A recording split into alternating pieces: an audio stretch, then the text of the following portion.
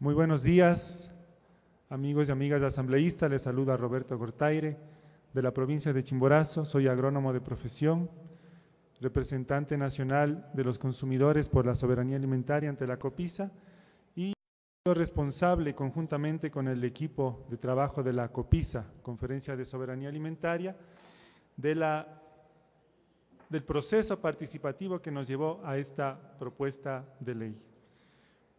Tal vez diría un poco inapropiada mi presencia en vista de que la voz campesina y quizá la voz de una mujer campesina sería la más apropiada para este, para este diálogo. Sin embargo, hablo como testigo, testigo privilegiado de haber conocido el saber profundo y la experiencia exitosa y verdaderamente auténtica de la soberanía alimentaria en el Ecuador.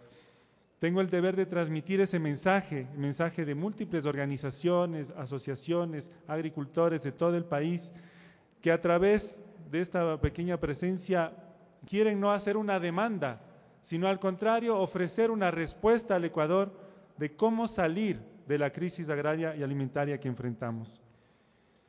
Ellos y ellas son los autores de esta propuesta de ley que a continuación quisiera mencionar algunas cosas claves porque son la necesaria entrada, la necesaria entrada a un nuevo modelo agrario, lo que llamamos la agroecología, la soberanía alimentaria.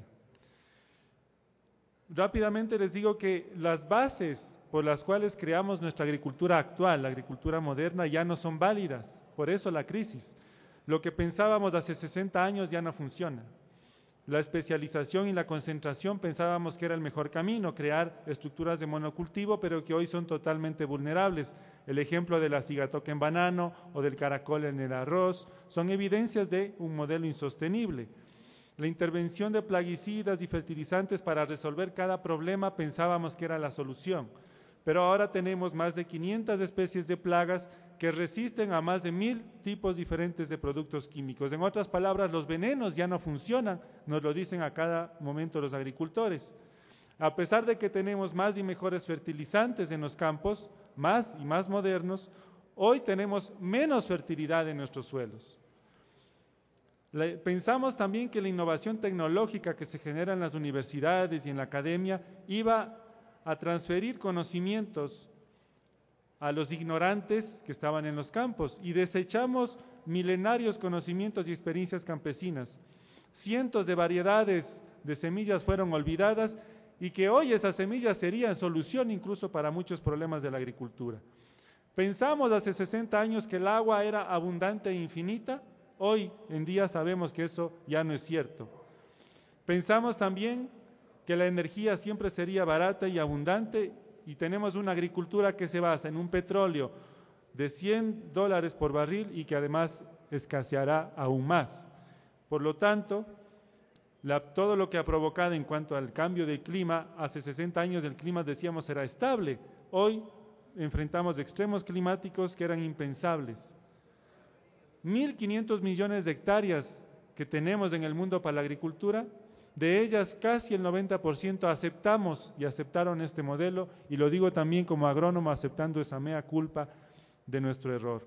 Es un modelo agrario insostenible que ya no puede resolver la crisis, tal como lo ha dicho el informe del relator de Naciones Unidas para el Derecho a la Alimentación. La agricultura que hoy tenemos acelera el cambio climático, no lo resiste y exige insumos que resultan cada vez más caros. Ya no es la mejor opción, como nos lo dice Naciones Unidas. 60 años después, tenemos una crisis alimentaria con un récord histórico de hambruna que ustedes conocen bien y además del fenómeno de la malnutrición, de la obesidad que llega casi a mil millones más de personas, la, erosión de suelos y la alta reconcentración de tierras, el desplazamiento y desaparición de la agricultura que ha hecho que esté en riesgo ya la soberanía alimentaria.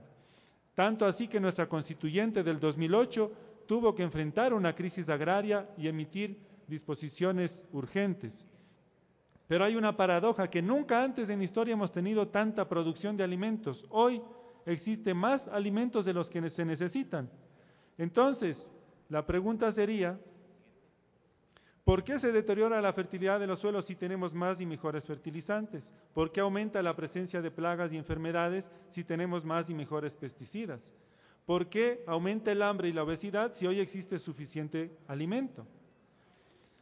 Las causas están precisamente en el modelo. El monocultivo elimina la diversidad, genera desequilibrios y el uso de fertilizantes hace más vulnerables aún a los cultivos. Los agrónomos llamamos a eso trofobiosis. Variedades de semillas de alto rendimiento, sin embargo, requieren de paquetes tecnológicos cada vez más caros y de alto impacto ecológico y a la salud pública. Y por si fuera poco, pues el control monopólico y la ineficiente intermediación que tenemos en las cadenas agroalimentarias está desatando un comercio injusto que ha destrozado la economía agrícola, como ustedes saben muy bien. Un fenómeno adicional es el retroceso de la agrobiodiversidad. De 50.000 especies comestibles que se conocen en el mundo, hoy apenas nueve, que son además concentradas por capitales eh, grandes, industrias de gran capital, Solamente tres de ellas representan ya el 75% de nuestra dieta. Sin embargo, tenemos la soberanía alimentaria como un nuevo modelo que se está presentando al país como alternativa y con toda eficiencia. Tenemos un modelo agroecológico, un modelo tecnológico que está que podría ya duplicar la producción alimentaria global en pocos años, como ha dicho Naciones Unidas, y que incluso genera alimentos de mejor calidad. Como ven en la pantalla, son comparaciones de la Universidad de Rutgers probando alimentos biológicos y alimentos convencionales, donde el contenido de nutrientes evidentemente es eh, mejor.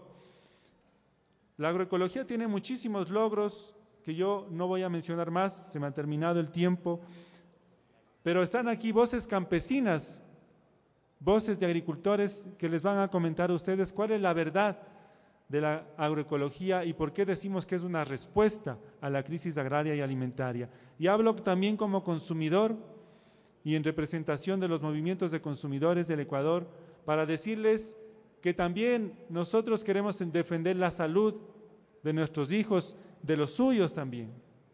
No queremos más veneno en nuestra comida. Hoy, gracias a Dios, tenemos una alternativa Gracias a nuestra madre tierra y gracias a nuestros agricultores tenemos una alternativa. No creemos ya en los cuentos de las semillas mágicas que nos llevarán a las alturas.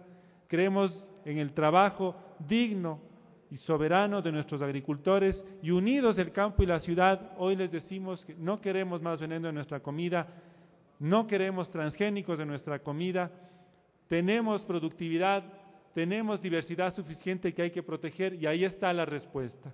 Muchísimas gracias y dejo la palabra a mis compañeros y compañeras agricultores.